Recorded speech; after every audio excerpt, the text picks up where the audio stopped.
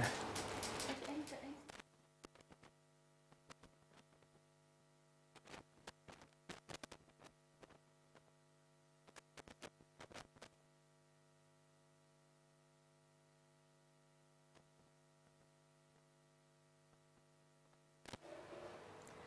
Xin kính chào quý vị khán giả đang đến với chương trình tư vấn truyền hình trực tuyến của báo điện tử sức khỏe đời sống.vn. Thưa quý vị, ngày hôm nay chúng ta sẽ cùng đến với một chủ đề mà tất cả mọi người đều đang rất quan tâm. Đó chính là nội dung hỏi đáp về bảo hiểm y tế, thông tuyến bảo hiểm y tế. Chương trình của chúng ta đang được phát sóng trực tiếp trên báo điện tử sức khỏe đời sống.vn, trên kênh fanpage và youtube của báo. Và báo điện tử sức khỏe đời sống là cơ quan ngôn luận của Bộ Y tế. Thưa quý vị, bảo hiểm y tế là một chính sách nhân văn của nhà nước ta dành cho người dân, đặc biệt là khi mà chúng ta có những bệnh cần phải chữa trị và nhất là khi mà bệnh lại là bệnh hiểm nghèo và có chi phí điều trị cao. Trong những năm gần đây thì các chính sách bảo hiểm y tế đã thay đổi à, khá là nhiều với những cải cách đổi mới nâng cao chất lượng khám chữa bệnh, mang lại sự tin tưởng cho người dân. Một trong những cải cách quan trọng đó là việc triển khai thực hiện lộ trình thông tuyến trong khám bệnh, chữa bệnh bảo hiểm y tế. Theo đó thì chúng tôi xin chia sẻ một số thông tin như sau. Người dân sống ở vùng có điều kiện kinh tế xã hội khó khăn được khám chữa bệnh nội trú tại bệnh viện tuyến tỉnh, tuyến trung ương mà không cần giấy chuyển viện. Các cơ sở khám chữa bệnh, đặc biệt ở tuyến huyện, bắt buộc phải đổi mới phong cách phục vụ, đầu tư cơ sở vật chất cũng như là nhân lực để nâng cao chất lượng khám chữa bệnh, thu hút người bệnh. Thông tuyến cũng giúp cho người dân thuận lợi hơn trong việc tiếp cận các dịch vụ khám chữa bệnh bảo hiểm y tế. Và hôm nay trong thời lượng của chương trình tư vấn truyền hình trực tuyến do báo điện tử Sức khỏe đời sống à, thực hiện thì chúng ta sẽ cùng trò chuyện với một vị khách mời đặc biệt để có thể hiểu rõ hơn về các quy định trong bảo hiểm y tế cũng như là thông tuyến bảo hiểm y tế. Và xin được trân trọng giới thiệu vị khách mời của chúng ta, tiến sĩ bác sĩ Lê Văn Khảm, vụ trưởng vụ bảo hiểm y tế Bộ Y tế. Xin chào anh. Vâng, à, xin chào chị và xin chào quý vị và các bạn. Tiến sĩ bác sĩ Lê Văn Khảm, vụ trưởng vụ bảo hiểm y tế Bộ Y tế, tốt nghiệp bác sĩ đa khoa Đại học Y Hà Nội, học cao học tại Đại học Mahido, Thái Lan, nhận bằng thạc sĩ y xã hội học đề tài, ý nghĩa nhận thức và những tác động xã hội của việc xét nghiệm HIV ở phụ nữ có thai. Nhận bằng tiến sĩ nhân học, Học viện Khoa học Xã hội với đề tài Phương thức ứng phó với rủi ro sức khỏe của người cao tuổi Việt Nam, trường hợp Hà Nội, từng trải qua nhiều nhiệm vụ công tác như giám định viên Bảo hiểm y tế Việt Nam, chuyên viên Cục Quản lý Khám chữa bệnh Bộ Y tế, Phó vụ trưởng và hiện là vụ trưởng vụ bảo hiểm y tế Bộ Y tế. Được nhận bằng khen giấy khen của Bộ trưởng Bộ Y tế, Thủ tướng Chính phủ vì có thành tích trong công tác.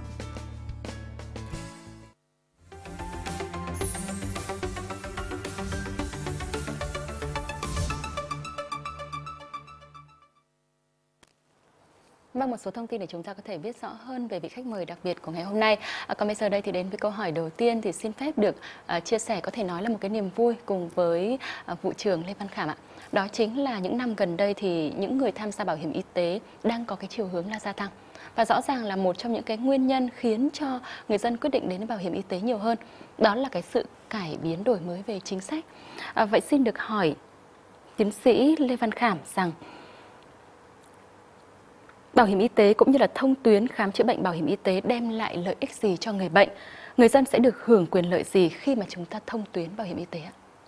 À, vâng, à, thưa quý vị, thưa các bạn, những năm gần đây chúng ta rất quen với khái niệm mà thông tuyến trong khám chữa bệnh bảo hiểm y tế. Vâng. À, nhưng mà trước hết thì chúng tôi cũng muốn à, à, khuyến nghị với các quý vị và các bạn rằng là à, khi tham gia bảo hiểm y tế thì chúng ta có một cái nơi được gọi là nơi đăng ký khám chữa bệnh ban đầu. Ừ. Chúng ta đã lựa chọn nơi đăng ký khám chữa bệnh ban đầu để trong trường hợp có nhu cầu khám chữa bệnh thì chúng ta nên đến đó à, để để được à, khám chữa bệnh, được à, quản lý và chăm sóc sức khỏe. Thế còn à, về cái thông tuyến thì thực sự thì à, từ năm 2016 à, là chúng ta có cái quy định rằng là những người có thẻ bảo hiểm y tế đăng ký khám chữa bệnh ban đầu tại trạm y tế xã, phòng khám đa khoa hoặc tại bệnh viện huyện thì được đi khám chữa bệnh trong một trong ba nơi này trên địa bàn tỉnh thì được xem như đúng tuyến. Bên cạnh đó thì luật bảo hiểm y tế cũng quy định là À, những người có thẻ bảo hiểm y tế khi đi khám chữa bệnh tại các bệnh viện tuyến huyện trên toàn quốc thì cũng được hưởng đầy đủ quyền lợi à, như là đi khám chữa bệnh à, đúng tuyến. Và trước năm 2016 chúng ta cũng có những cái quy định liên quan đến thông tuyến áp dụng cho người nghèo, người dân tộc thiểu số sinh sống ở vùng có điều kiện kinh tế xã hội khó khăn hay là vùng có điều kiện kinh tế xã hội đặc biệt khó khăn thì được à, thông tuyến sớm hơn so với các đối tượng khác. Nghĩa là bà con ở các khu vực này có thể đến bệnh viện tuyến tỉnh hoặc bệnh viện tuyến trung ương à, mà không cần phải có giấy chuyển tuyến thì vẫn được hưởng à, quyền lợi bảo hiểm y tế đầy đủ. Vâng. À, khi thực hiện cái thông tuyến thì đem lại cũng khá nhiều cái cái thuận lợi cho người tham gia bảo hiểm y tế. Thứ nhất là người tham gia y tế có thêm cái cơ sở à, lựa chọn cái nơi khám chữa bệnh mà mình có niềm tin về mặt chất lượng. Cái thứ hai nữa là giảm thiểu các quy định hành chính, à, thủ tục hành chính không cần thiết như trước đây. Đã có những tình trạng là người bệnh đến trạm y tế xã chỉ để xin một cái giấy giới thiệu chuyển viện ừ. lên tới bệnh viện huyện. À, mặc dù là cái bệnh lý của người ta là phải chữa ở bệnh viện huyện thì trước kia vẫn phải đi qua trạm y tế xã thì với cái cơ chế thông tuyến thì họ có thể lên thẳng bệnh viện huyện cái ờ, lợi ích thứ ba nữa là cũng chính bởi vì là thực hiện cái thông tuyến trong khám chữa bệnh mà các cơ sở khám chữa bệnh muốn thu hút bệnh nhân thì phải có những cái đổi mới để nâng cao chất lượng và việc nâng cao chất lượng dịch vụ y tế chính là để nâng cao chất lượng ờ, khám chữa bệnh cũng như là đảm bảo quyền lợi tốt hơn cho người tham gia bảo hiểm y tế. Vâng. Hiện nay thì việc thông tuyến bảo hiểm y tế đang được thực hiện ờ, trên phạm vi toàn quốc rồi và được xác định là từ tuyến huyện trở xuống đúng không ạ? Yeah. Dạ. Thế nhưng mà tuy nhiên thì uh, chắc chắn là khán giả cũng đang rất là tò mò rằng đối với cái lộ trình tuyến tỉnh thì bao giờ chúng ta sẽ được áp dụng cái điều này? À, chúng ta thực hiện cái việc uh, uh, thông tuyến là theo quy định của luật bảo hiểm y tế. Yeah. Dạ. Thì từ năm 2016 là chúng ta thực hiện cái uh, việc thông tuyến uh, huyện rồi ừ. và đến năm 2021 thì sẽ thực hiện lộ trình thông tuyến tỉnh theo đó thì là từ mùng 1 tháng Giêng năm 2021, người có thẻ bảo hiểm y tế khi khám chữa bệnh tại bệnh viện à, tuyến tỉnh thì cũng được hưởng à, đầy đủ cái quyền lợi như là đi khám chữa bệnh đúng tuyến. Ừ. Và đối với tuyến trung ương thì chúng ta chưa áp dụng cái ừ. việc thông tuyến đối với các bệnh viện tuyến trung ương. Dạ. Thưa Bộ trưởng, vậy thì đến cái thời điểm năm 2021 thì từ góc nhìn của ông, ông thấy rằng là người dân sẽ có thêm những cái quyền lợi lợi ích như thế nào? Ờ, điều đầu tiên chúng ta có thể thấy rất là rõ rằng là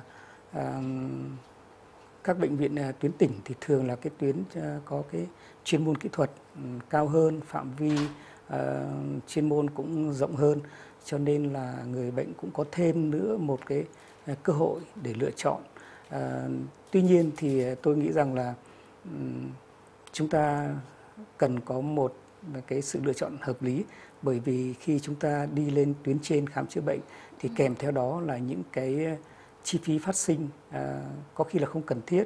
Cái thứ hai là à, nếu mình đã nắm rõ được cái tình trạng sức khỏe của mình đã được bác sĩ ở tuyến dưới tham vấn à, tư vấn hoặc đã được khám chữa bệnh ở tuyến dưới rồi à, đáp ứng được nhu cầu thì không nên à, lên tuyến trên à, dẫn đến tình trạng quá tải.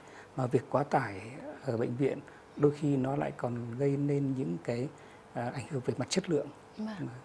À, và chúng tôi cũng được biết rằng là hiện nay thì Bộ Y tế cũng có những cái quy định hạn chế về việc chuyển tuyến. À, xin Bộ trưởng cho biết rằng ở trong những cái trường hợp cụ thể thế nào thì bệnh nhân sẽ được ờ, khuyến khích là nên hạn chế. À, thứ nhất à, tôi phải thông tin lại rằng là à, Bộ Y tế không có quy định về việc hạn chế chuyển tuyến đâu ạ. À, dạ. à, chỉ có cái quy định à, về cái việc chuyển tuyến trong trường hợp nào là cần thiết. Ờ, và trên một cái nguyên tắc chung là à, người bệnh sẽ được chuyển tuyến khi cái cơ sở đó không đáp ứng được cái yêu cầu về chuyên môn kỹ thuật trong khám chữa bệnh tức là quá cái khả năng à, chẩn đoán điều trị của đơn vị thì cơ sở đó sẽ chuyển bệnh nhân lên tuyến trên phù hợp với tình trạng à, sức khỏe của bệnh nhân và cái cái nhu cầu khám chữa bệnh tùy của từng, từng trường hợp một. Dạ. à, và thứ hai nữa là à, bộ y tế cũng quy định rằng là khi chuyển tuyến cho bệnh nhân thì phải tư vấn cho bệnh nhân biết là à, về cái tình trạng sức khỏe của bệnh nhân và tư vấn để có sự lựa chọn hợp lý. Bởi vì um, nhiều trường hợp là người bệnh có tâm lý là muốn chuyển lên tuyến trên trong khi đó thực trạng về mặt sức khỏe hay là bệnh tật là hoàn toàn có thể uh, được điều trị ở tuyến dưới uh, với cái phạm vi chuyên môn kỹ thuật hoàn toàn đáp ứng với cái tình trạng à, bệnh tật đó. Dạ. À, sau hơn 3 năm thực hiện thông tuyến bảo hiểm y tế thì từ góc nhìn của Bộ trưởng ông thấy rằng là à, số lượng cũng như là người đi khám bệnh theo bảo hiểm y tế nó đang ờ, ở cái mức độ như thế nào và có cái kết quả ra sao thưa? À, vâng, à, thống kê mà chúng tôi ờ, thấy được thì qua những những năm qua thì cái số lượt khám chữa bệnh bảo hiểm y tế thì nó liên tục gia tăng qua các năm. Cái sự gia tăng này ấy, thì nó đến từ cái việc thứ nhất là nó gia tăng tương ứng với số người tham gia bảo hiểm y tế gia tăng hàng năm. Cái thứ hai nữa là cái ờ, nhu cầu chăm sóc sức khỏe của người dân ngày càng cao.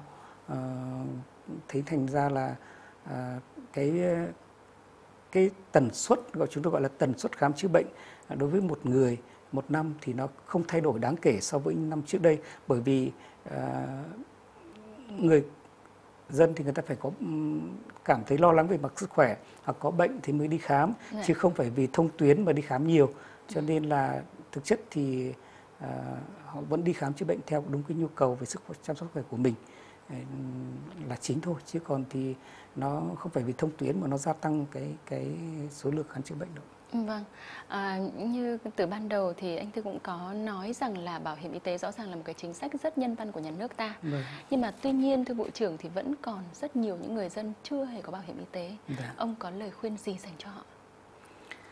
À, bây giờ chúng ta đang thấy rằng là có một thực tế là số người dân Việt Nam tham gia bảo hiểm y tế à, đạt tới tỷ lệ khoảng gần 90% dân số tham gia bảo hiểm y tế. Như vậy chỉ còn khoảng 10% dân số tham gia bảo chưa tham gia mà thôi. Ừ.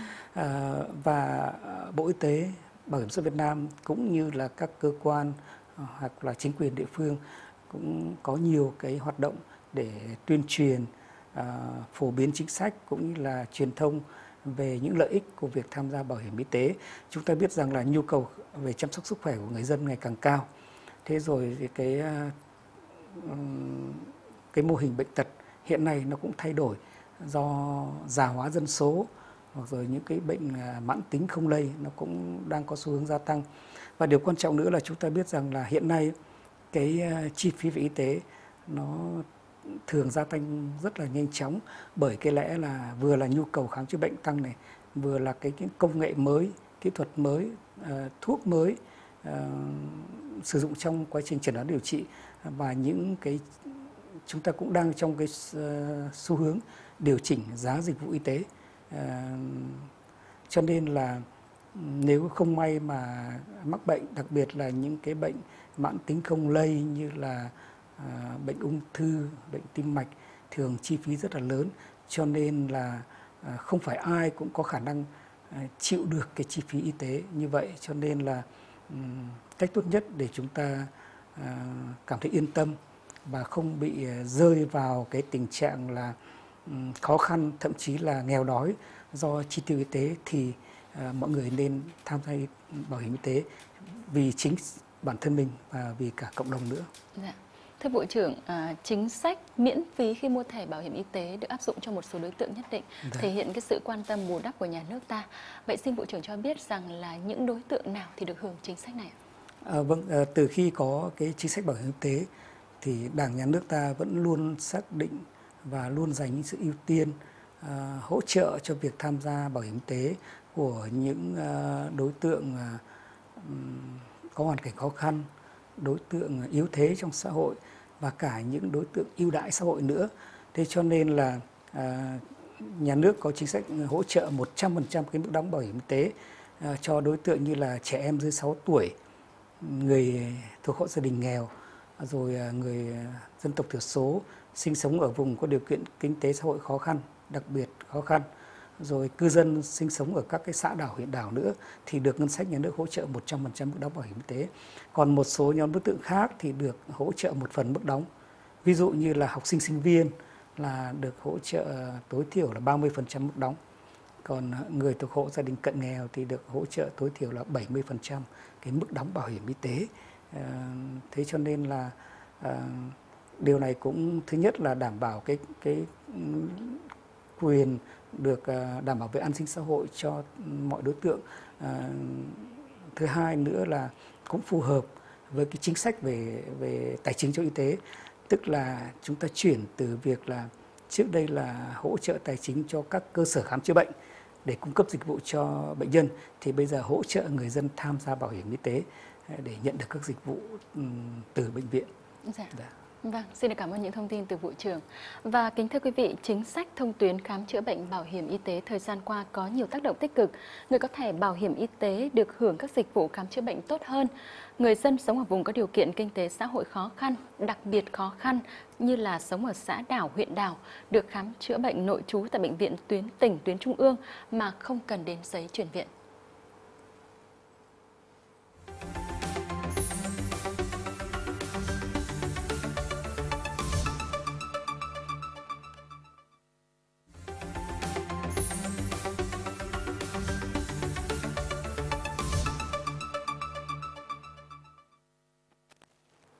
Vâng thưa vụ trưởng, khi mà thông tuyến bảo hiểm y tế thì người dân rõ ràng là có nhiều lựa chọn hơn khi mà đi khám bệnh. Nếu đi khám ở những bệnh viện chưa thông tuyến bảo hiểm y tế như là tại các bệnh viện tuyến tỉnh, thành phố và trung ương hiện nay thì người bệnh có bảo hiểm y tế phải chi trả thế nào và trường hợp nào sẽ phải tự chi trả thưa ông? Ờ, chúng ta thực hiện cái ờ, khám chữa bệnh và thực hiện thông tuyến là theo quy định của luật bảo hiểm y tế đang hiện hành. Vâng. Theo đó thì ờ, hiện nay chúng ta mới áp dụng cái việc à, thông tuyến đối với các bệnh viện tuyến huyện trên phạm vi cả nước. Còn à, trường đối với các bệnh viện tuyến tỉnh và tuyến trung ương thì khi người có thẻ bảo hiểm y tế tự đi khám chữa bệnh trái tuyến tại tuyến tỉnh và tuyến trung ương thì khám chữa bệnh ngoại trú là phải tự chi trả toàn bộ chi phí. Vâng. Không được hưởng quyền lợi về bảo hiểm y tế. Chỉ trong trường hợp là điều trị nội trú thì được hưởng ờ, một phần cái, cái, cái quyền lợi cụ thể là đi khám chữa bệnh nội trú mà trái tuyến tại bệnh viện tuyến tỉnh thì quỹ bảo hiểm y tế sẽ chi trả 60% cái chi phí điều trị nội trú đó. Còn trường hợp điều trị nội trú tại bệnh viện tuyến trung ương thì quỹ bảo hiểm y tế sẽ chi trả 40% cái chi phí điều trị nội trú của vâng. người bệnh. Vâng, vậy là so với trước đây thì nó đã có những cái sự thay đổi rõ nét nhất nào mà người dân có thể nhận thấy được thưa vụ trưởng? À, thứ nhất là cái cơ hội để mà tiếp cận uh, dịch vụ y tế cơ à, cơ sở y tế uh, theo cái niềm tin về chất lượng là rất là rõ. Người bệnh uh, thấy được là họ tin tưởng ở đâu thì họ đến đến nơi đó. Vâng. cái thứ hai là thực sự thì chất lượng dịch vụ y tế đang có những cải thiện uh, hết sức là quan trọng và có ngày càng đáp ứng cái nhu cầu cũng như sự hài lòng của người bệnh và chất lượng dịch vụ y tế chính là cách tốt nhất để đáp ứng cái cái quyền lợi của người tham gia bảo hiểm y tế. Vâng. và nữa là cái uh, việc uh, thông thực hiện thông tuyến nó giảm thiểu về các cái thủ tục hành chính mà đôi khi là không cần thiết. Uh, thành ra là những cái cái ưu điểm đó là được thể hiện một cách rất là rõ ràng và được người dân đón nhận rất và có những cái ứng xử rất là cụ thể trong cái việc mà đi khám chữa bệnh ở các cơ sở ngoài cái nơi đăng ký khám chữa bệnh ban đầu của mình. Dạ. Thưa Bộ trưởng, một cái câu chuyện, một cái thực tế nữa mà có lẽ là không chỉ bây giờ đâu, trước đây thì cũng đã xảy ra khá là nhiều rồi. Đó là khi mà người dân đi khám chữa bệnh theo cái diện là bảo hiểm y tế ở một số những cái à, đơn vị y tế thì uh, có cái tình trạng là được được chỉ định là dùng cái loại thuốc như thế này hay là loại thuốc như thế kia thì uh, cơ sở chữa bệnh đó lại báo là cái loại thuốc đó hết rồi và ở một một số ờ, người dân phản ánh lại thì họ cho rằng đây là một cái cái cái sự phản hồi không chấp nhận được bởi vì là rõ ràng là họ đi theo cái diện chính sách mà họ được hưởng ưu đãi. Vâng. À, xin hỏi vụ trưởng rằng nếu người dân gặp phải những cái tình huống như vậy thì họ có thể kiến nghị đến những cơ quan nào? À, điều đầu tiên á, thì à, tôi cũng phải nói cho trao đổi với quý vị và các bạn rằng là theo quy định của luật bảo hiểm y tế dạ. cũng như luật khám chữa bệnh và quy định của ngành y tế thì các cơ sở khám chữa bệnh uh, bảo hiểm y tế ừ. phải có trách nhiệm là uh, cung ứng uh, đầy đủ thuốc vật tư y tế trong phạm vi chuyên môn của cơ sở mình dạ. để đảm bảo được cung cấp cho đầy đủ cho bệnh nhân. Cái thứ hai nữa là Bộ Y tế cũng ban hành các cái danh mục à, thuốc danh mục vật tư y tế áp dụng cho từng cái hạng bệnh viện từng tuyến một cho nên là trách nhiệm của các bệnh viện là phải uh, cung ứng cho cho bệnh nhân thế cho nên là tôi đang nghĩ tới cái việc là một số trường hợp uh, bệnh nhân được uh, bác sĩ chỉ định thuốc mà phải mua ở bên ngoài có lẽ là những cái thuốc đó không nằm trong danh mục bảo hiểm y tế ừ. à, nhưng mà theo của chuyên môn thì vẫn được chỉ định cho nên là à, thông thường thì dù là thuốc trong danh mục bảo hiểm y tế hay không bảo hiểm y tế thì bệnh viện vẫn cung ứng cho bệnh nhân thế cho nên là trong trường hợp này thì à, có thể vì một lý do nào đó um, tức thời mà người bệnh à, phải mua thuốc thì à, bộ y tế sẽ có cái Ờ, chấn chỉnh có cái chỉ đạo để đảm bảo cho các cho bệnh nhân được hưởng đầy đủ quyền lợi theo đúng cái quy định của pháp luật về bảo hiểm y tế, theo đúng cái danh mục thuốc cũng như là phạm vi chuyên môn kỹ thuật mà các bệnh viện đó đang thực hiện ờ, đối với người bệnh. Vâng, và có lẽ một cái điều cũng rất là quan trọng đó chính là cái sự giải đáp kịp thời của nhân viên y tế tại cơ sở đó đúng không thưa dạ, bộ trưởng? Dạ vâng ạ. À, thưa quý vị chúng ta vừa đến với những câu hỏi đầu tiên dành cho tiến sĩ bác sĩ Lê Văn Khảm, Bộ trưởng Bộ Bảo hiểm Y tế Bộ Y tế. Còn bây giờ thì sẽ là những câu hỏi mà quý vị khán giả đang theo dõi truyền hình trực tuyến của chúng tôi ngày hôm nay gửi đến. Câu hỏi đầu tiên đến từ khán giả có tên là Trần Văn Bản thưa Bộ trưởng. Ở địa chỉ email là văn bản orv08a.gmail.com hỏi như sau. Tôi là một cán bộ của một doanh nghiệp tư nhân được cơ quan mua bảo hiểm y tế. Nhưng khi đi khám bệnh tôi vẫn phải đóng thêm tiền. Dù chỉ là vài trăm, mặc dù thẻ bảo hiểm thì thuộc loại được chi trả 100%. Xin hỏi vụ trưởng như vậy có đúng hay không ạ? À, chúng tôi cần một thông tin rất là cụ thể.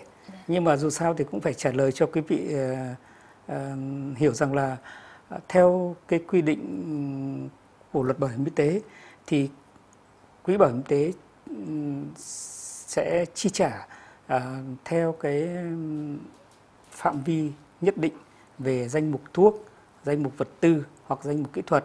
Cho nên là nếu như à, người bệnh được chỉ định à, sử dụng thuốc hay vật tư ngoài cái danh mục thuốc bảo hiểm y tế thì điều đó có nghĩa là người bệnh phải tự cái chi trả cái phần nó chưa thuộc phạm vi chi trả của quỹ bảo hiểm y tế. Ừ.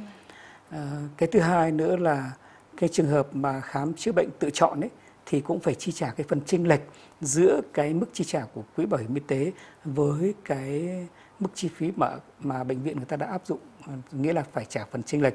Cho nên là à, à, chúng tôi chỉ có thể cung cấp thông tin một cách khái quát tổng quan như vậy. Còn trong từng trường hợp cụ thể thì quý vị có thể phản ánh rất là cụ thể xem là quý vị đã phải chi trả cho loại thuốc gì hoặc là kỹ thuật gì và lý do là đã được bệnh viện giải thích như thế nào dạ vâng. nhưng mà tự chung lại là cho dù là à, quý vị được hưởng 100% chi phí khám chữa bệnh bảo hiểm y tế nhưng phải hiểu rằng 100% chi phí đấy là nằm trong phạm vi quyền lợi của bảo hiểm y tế chứ không phải là 100% chi phí khám chữa bệnh chung. À, dạ vâng. À, cái này thì anh tôi cũng xin được cảm ơn bộ trưởng vì là tôi cũng đã được hiểu thêm ạ. Dạ. À, câu hỏi tiếp theo của khán giả Phạm Thị Huệ Tôi muốn mua bảo hiểm y tế tự nguyện 5 hoặc 10 năm liền, nhưng ra phường thì cán bộ trả lời là không được. Tại sao bảo hiểm y tế chưa cho phép mua dài hạn như vậy, thưa vụ trưởng? À, cái có một cái thực tế là chúng ta đang bây giờ đang thu cái mức đóng bảo hiểm y tế dựa trên cái tiền lương, tiền công hoặc mức lương cơ sở mà tiền lương, tiền công hay mức lương cơ sở nó thay đổi có thể hàng năm. Ví dụ mức lương cơ sở, ngày trước đây là chúng ta là bằng 1 triệu 390 ngàn đồng, thì từ tháng 7 năm nay đã là 1 triệu 490 ngàn đồng rồi. Tương tự như vậy, các ờ, quý vị là ờ, người lao động hưởng lương thì cái mức lương nó cũng thay đổi. Cho nên là chúng ta ờ, chưa thể áp dụng được ừ, cái việc là tham gia bảo hiểm y tế cho một thời gian dài, bởi vì cái cái mức đóng nó có thể thay đổi. Mức lương thay đổi và tỷ lệ đóng nó cũng có thể thay đổi hàng năm. Hiện giờ thì chúng ta đang ờ, trong nhiều năm nay thì chúng ta đang duy trì ở cái mức là mức đóng bảo hiểm y tế bằng 4,5% à, mức lương mức tiền lương. Cho nên là cái tiền lương nó có thể thay đổi hàng tháng, hàng năm và cái mức đóng bảo hiểm y tế cũng có thể được à, nhà nước điều chỉnh à, trong thời gian tới. Cho nên là chưa thể triển khai được cái việc bán bảo hiểm y tế cho giai đoạn tới 5 năm, 10 năm. Vâng, xin cảm ơn ạ. À, câu hỏi tiếp theo của một khán giả giấu tên hỏi trong trường hợp cấp cứu, người khám bệnh bảo hiểm y tế được điều trị như thế nào? Và có cần xuất trình thẻ bảo hiểm y tế mới được khám hay không thưa vụ trưởng? Cái điều này thì đã có cái ờ, quy định rất là rõ và hôm nay tôi chỉ ờ, nhân cơ hội này tôi thông tin lại với quý vị thôi rằng là trong trường hợp cấp cứu người có thẻ bảo hiểm y tế được khám chữa bệnh ở bất kỳ cơ sở y tế nào không phụ thuộc vào tuyến, không phụ thuộc vào địa giới hành chính ờ, và vẫn được quỹ bảo hiểm chi trả nhưng phải trình cái thẻ bảo hiểm tế trước khi ra viện. Dạ. À, có một số nơi thì anh Thư nhớ là tại vì tôi thú thật với với vụ trưởng là tôi cũng vừa ừ, có một ừ, cái thời gian ngắn ngắn nằm viện trước đây Vâng. và tôi ờ, thấy là có một số nơi thì quy định là 24 giờ sau khi nhập viện Dạ. thì cái thông tin này là có cái sự ờ, Ờ, thay đổi nào không ạ? Có thể đấy chỉ là một cách quản lý của một đơn vị thôi, Dạ. chứ còn theo quy định là người bệnh chỉ phải trình cái thẻ bảo hiểm y tế trước khi ra viện để hoàn tất các cái thủ tục về à, thanh toán chi phí bảo hiểm y tế thôi. Chứ còn có thể bệnh viện có đưa ra cái yêu cầu là ừm, nên à, trình thẻ bảo hiểm y tế cũng như Dạ. các giấy tờ tùy thân à, sớm để cái quản lý hành chính nó thuận tiện hơn chứ không phải là cái quy định bắt buộc. Vâng, à, xin được cảm ơn vụ trưởng ạ. Chúng ta sẽ cùng đến với câu hỏi tiếp theo như sau, cũng của một khán giả giấu tên có hỏi rằng là thưa vụ trưởng, hiện nay thì với những loại bệnh như thế nào thì chúng tôi có quyền được lựa chọn đơn vị khám chữa bệnh theo à, không phải tại nơi mà chúng tôi đã đăng ký dịch vụ bảo hiểm y tế. À, các vị cũng nên à, hiểu rằng là chúng ta lựa chọn một nơi đăng ký khám chữa bệnh ban đầu để được chăm sóc sức khỏe ở nhiều cái lĩnh vực khác nhau, Dạ. nhiều cái ờ, chuyên khoa khác nhau. À, thế cho nên là à, các vị nên đến nơi đăng ký khám chữa bệnh ban đầu, ở đó sẽ được chẩn đoán, sẽ được điều trị phù hợp với cái năng lực của đơn vị đó. Trường hợp cái ờ, tình trạng bệnh tật và hay sức khỏe của quý vị vượt quá khả năng chuyên môn hoặc không đúng cái chuyên khoa của cơ sở đó thì sẽ được giới thiệu lên tuyến trên và khi đã giới thiệu lên tuyến trên rồi thì ờ, chúng ta bộ y tế cũng có cái quy định ờ, áp dụng đối với một số trường hợp là có thể được sử dụng giấy chuyển tuyến hết cả một năm dương lịch. Dạ. à, đặc biệt là các bệnh mãn tính không lây. Thế cho nên là cũng giảm thiểu rất nhiều cái thủ tục hành chính. Và thứ hai là cũng tạo thuận lợi cho bệnh nhân là à, không cần thiết là lúc nào cũng phải qua cái đơn vị đăng ký ban đầu để chuyển tuyến nếu như cái bệnh đó là một bệnh có tính chất chuyên chuyên khoa ở tuyến trên và đã được tuyến dưới gửi lên rồi thì được sử dụng cái giấy chuyển tuyến đó hết một năm dương lịch cho rất nhiều loại bệnh khác nhau Dạ thế vâng. như vậy là cũng đã có những cái cải tiến những cái đổi mới về cái à, thủ tục hành chính và chuyển tuyến trong khám chữa bệnh Vâng, xin được cảm ơn vụ trưởng.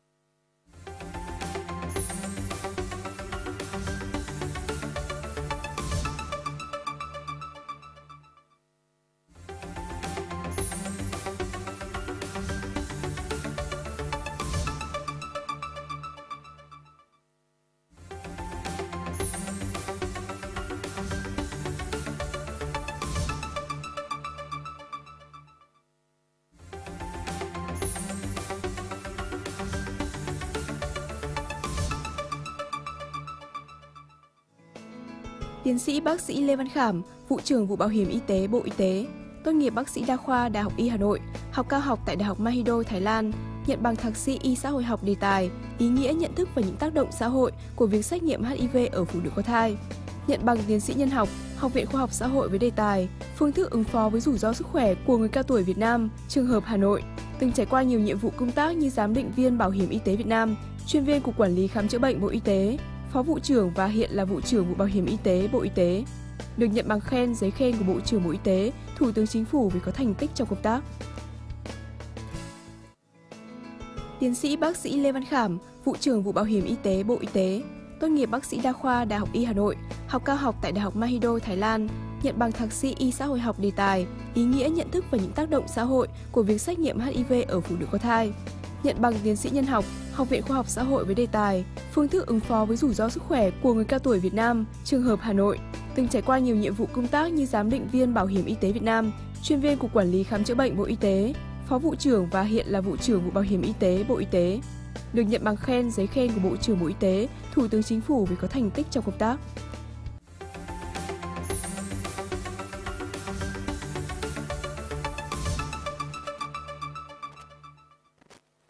Dạ thưa vụ trưởng quay trở lại với những câu hỏi các khán giả đang theo dõi trực tuyến chương trình của chúng ta trên báo điện tử sức khỏe đời sống.vn. Cơ quan ngôn luận của Bộ Y tế thì có một câu hỏi của vị khán giả tên là Nguyễn Linh ở Đống Đa Hà Nội hỏi như sau ạ. Thưa vụ trưởng, mẹ tôi đã về hưu được hưởng 100% khi khám chữa bệnh bảo hiểm y tế ở Hà Nội. Với chính sách thông tuyến bảo hiểm y tế thì mẹ tôi có thể khám bệnh ở một bệnh viện tư nhân của Hà Nội hay không? Và có được chi trả 100% không? Phải thanh toán thêm chi phí gì nữa không ạ? À, thứ nhất là cái chính sách về thông tuyến huyện áp dụng cho cả bệnh viện công lập và bệnh viện tư nhân. À, chỉ có một điều đáng lưu ý là các bệnh viện tư nhân thì tùy theo cái hạng của bệnh viện để xếp nó tương đương với là bệnh viện tuyến huyện hay là tuyến tỉnh. À, như vậy nếu trường hợp mà à, người bệnh đăng ký ở bệnh viện à, tuyến tỉnh à, thì hay tuyến thành phố vẫn có thể đến các bệnh viện tư nhân mà là bệnh viện à, tương đương với tuyến huyện. Cụ thể trong trường hợp nếu bệnh viện tư nhân đó là bệnh viện hạng 2 thì sẽ là tương đương với tuyến huyện, bệnh viện tuyến huyện thì vẫn được hưởng quyền lợi như là đi khám chữa bệnh à, đúng tuyến. À, còn cái việc ừ, điều đó có nghĩa rằng là đã đã được xem như đi khám chữa bệnh đúng tuyến thì được hưởng à, nếu quý vị đó được hưởng 100% quyền lợi bảo hiểm y tế thì sẽ được hưởng 100% à, theo cái danh mục ờ, theo cái phạm vi của bảo hiểm y tế và những cái chi phí ngoài danh mục bảo hiểm y tế ờ, thì phải tự chi trả. Dạ vâng ạ, xin được cảm ơn bộ trưởng. Đến với câu hỏi tiếp theo của khán giả Nguyễn Mai ở Phú Lương, Thái Nguyên thì hỏi như sau ạ. Tôi có thể bảo hiểm ở tỉnh cấp nhưng tôi lên Hà Nội làm việc. Vậy tôi có được đi khám tại các bệnh viện ở Hà Nội không? Và có được thanh toán 100% bảo hiểm hay không ạ? À, thứ nhất là à, chuyện à, mà khán giả có à, bảo hiểm y tế do tỉnh khác phát hành ừ.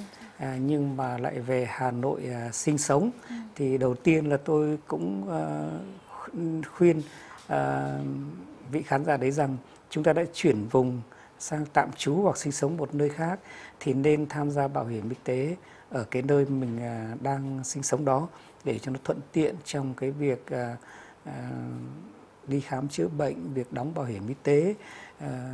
Thứ hai nữa là trong trường trong trường hợp dù chưa có chuyển cái cái nơi đăng ký về các bệnh viện ở Hà Nội thì chúng ta cũng biết rằng là được quyền khám chữa bệnh ở các bệnh viện tuyến huyện trên phạm vi toàn quốc à, thì vẫn được hưởng quyền lợi đầy đủ. Thế cho nên trường hợp của chị khán giả này nếu như chị đến khám chữa bệnh ở các bệnh viện tuyến huyện ở Hà Nội thì vẫn được hưởng cái quyền lợi bảo hiểm y tế đầy đủ. Ừ. Còn nếu chị đi khám chữa bệnh mà không có giấy chuyển tuyến từ từ địa phương về đây á, mà đi khám chữa bệnh ở bệnh viện tuyến tỉnh thì à, chỉ được hưởng trong trường hợp nội khám chữa bệnh nội trú thôi là 60% dạ. à, theo đúng uh, quy định.